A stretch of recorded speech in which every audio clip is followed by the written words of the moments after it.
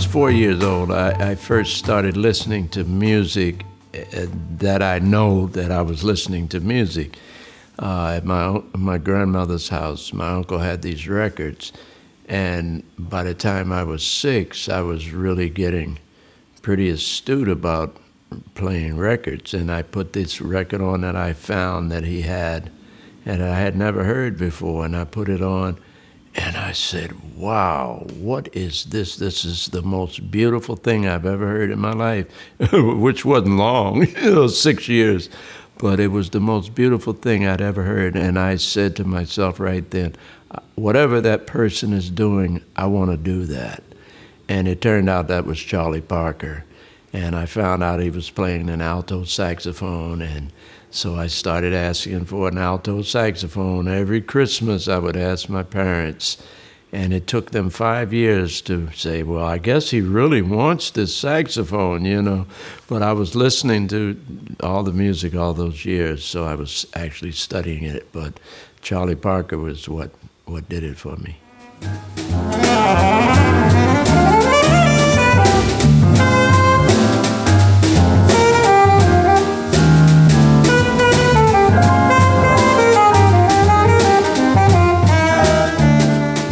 You cannot be a great musician if you don't know how to listen.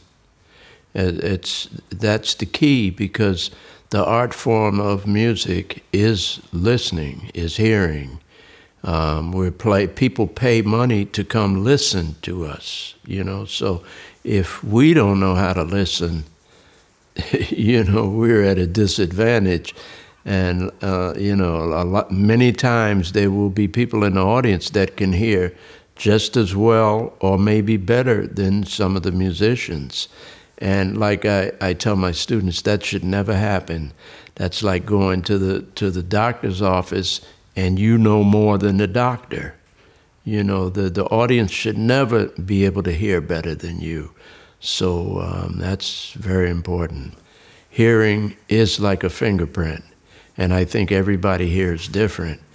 And that's what makes a great musician have, you know, figure out how to find their own sound. Like Be- nobody can sound like Beethoven, nobody can sound like Mozart, nobody can sound like Duke Ellington, nobody can sound like Miles because they all found the way that that they heard. You know, they found out how to tap in to what only they could hear.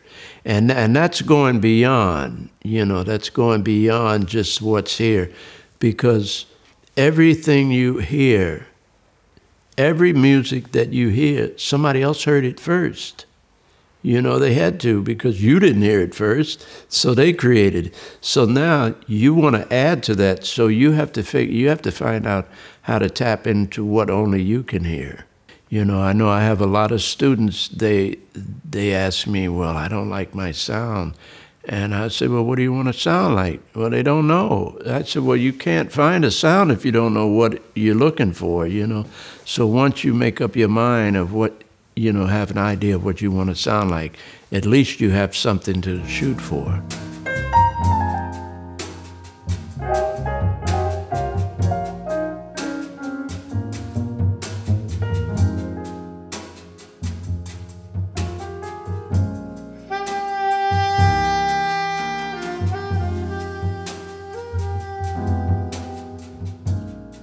You know, as I as I've lived through these years and get the, my many lessons, when I was working with Miles, I watched him.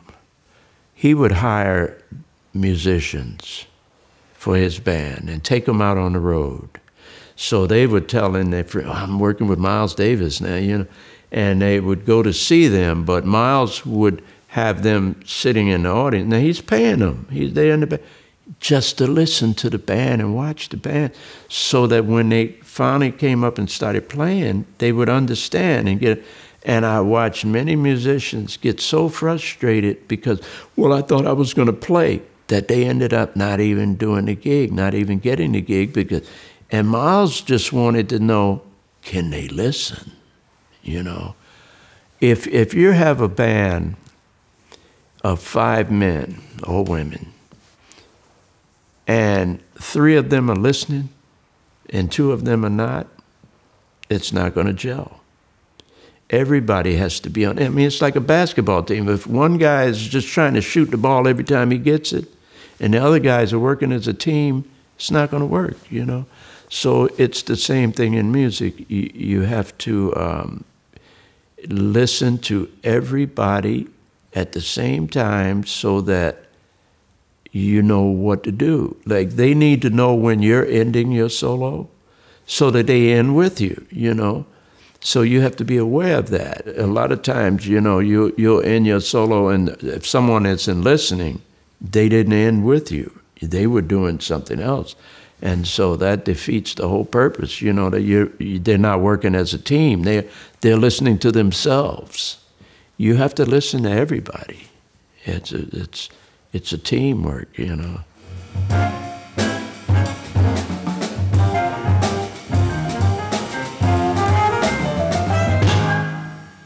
I think of myself as a composer. Absolutely, I do. You know, um, I compose on the saxophone or what people want to call improvisations, which I don't. You know, like I say, it's not an improvisation until I make a mistake. You know, when I make a mistake now, I have to. I didn't intend on doing that, so I got to improvise real quick. You know, but those are only split seconds out of a solo, out of a like say a five minute solo. It might be. It might consist of 10, 10 five to ten seconds of improvisation. The rest is composition. You know, so so um, it's a misnomer, and it's very misleading to young young people because they think it's improvisation. It's, it's not improvisation. You know, it's like I say, you can give a monkey a, a, a saxophone and, and he'll throw it up against the wall. That was an improvisation. you know, he can't play it though. if he could play it now, we're talking, you know, but so we learn how to play it. So it's not an improvisation unless we make a mistake. Everything else we, I mean to play. Everything I mean to play.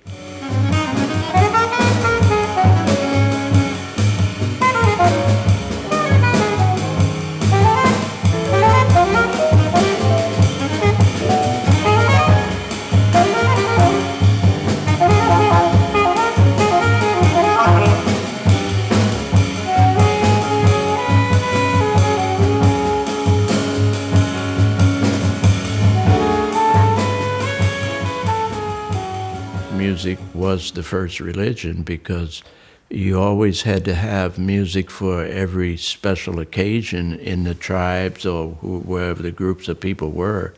Way before they thought about a religion, you know, they would have music for the births of children, for the deaths of people, for their harvests, for the, um, the equinox, for different things. And the music was very important. They had songs before there was written language you know. So it wasn't written. It doesn't need to be written. They they uh, heard it and they passed it on, you know. And it came through for centuries. They just passed it on like that, you know. Um, so it it's, was very important.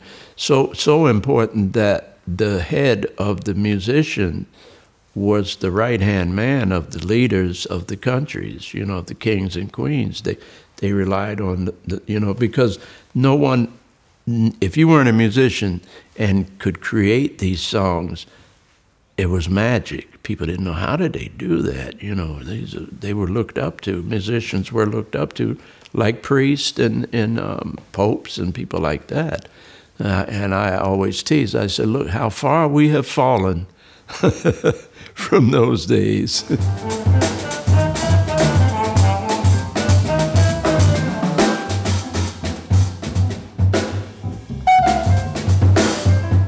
most of the young musicians that I see today that have gone to school to, to learn this music, they come out, uh, like I say, that it's a selfish thing because it, I hear ego, I don't hear music.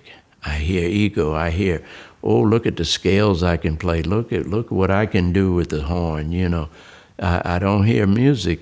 And you have to always remember it's not your show it's the music show. You're there to present the music. The music's not there to present you.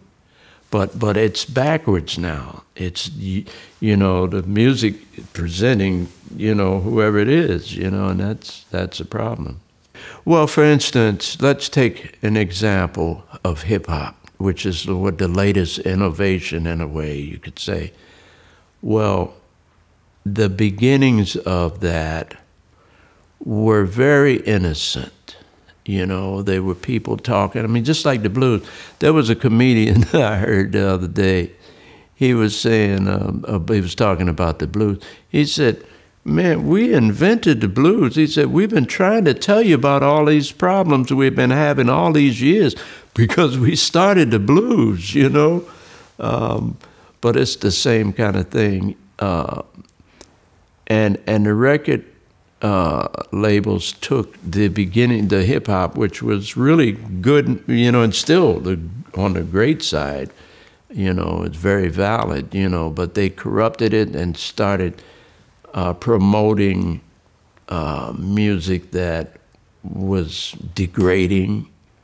I know Ray Brown mentioned that many years ago we don't have any radio station. We're musicians. We have all this music, but we don't own a radio station. We don't own, you know, we don't own anything. And most musicians don't even own the compositions they write. You know, the the record label takes it. You know, so um, that's all in in line and in step with the corruption of the music today from being good songs and, and uplifting songs to having degrading songs. Like, I don't know whether you know this song, WAP, W-A-P by Cardi B and who, somebody, the, the Stallion. you know, I mean, that's, uh, that's not a great thing, you know. But, but we've been doing that all along. Like there have been old blues songs, like There's Another Mule kicking in your stool, in your stall, you know. But the, at least it was double entendre, and it, it was had humor. Now it's just out and out, just nasty, you know. you can, if I mean, if that's what you like, you know, that's one thing. But you don't need to force that on young people and kids, you know. Uh, that's the way I feel.